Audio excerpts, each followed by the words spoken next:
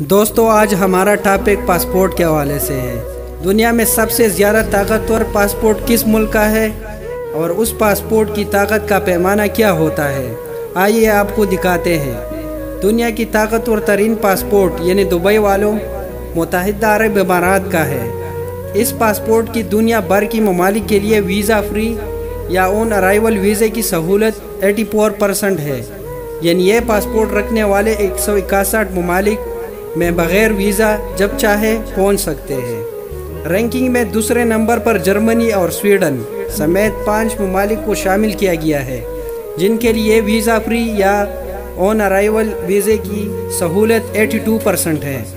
और उसके शहरी एक सौ छप्पन ममालिक में बग़ैर वीज़ा सफ़र या एयरपोर्ट पहुँचते ही वीज़ा हासिल कर सकते हैं। डेनमार्क और ऑस्ट्रिया समेत ग्यारह ममालिक के पासपोर्ट एक सौ छप्पन ममालिक के साथ तीसरे नंबर पर है, जिनके पासपोर्ट की दुनिया भर के लिए वीज़ा फ्री या उन अराइवल वीज़ा की सहूलत 81 परसेंट है।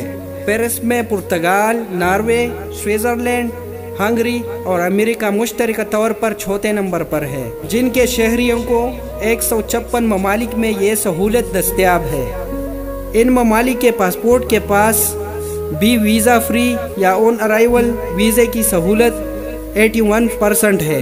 एक सौ चौवन ममालिक के साथ सिंगापुर, माल्टा समेत छः ममालिक की पासपोर्ट पाँचवें नंबर पर है। जिनके पासपोर्ट की दुनिया भर के ममालिक के लिए वीज़ा फ्री या ऑन अराइवल वीज़े की सहूलत 80 परसेंट है। दूसरे जानब, पाकिस्तान, सोमालिया, इराक, शाम और अफ़गानिस्तान के पासपोर्ट दुनिया के कमज़ोर तरीन पासपोर्ट करार दिए गए हैं।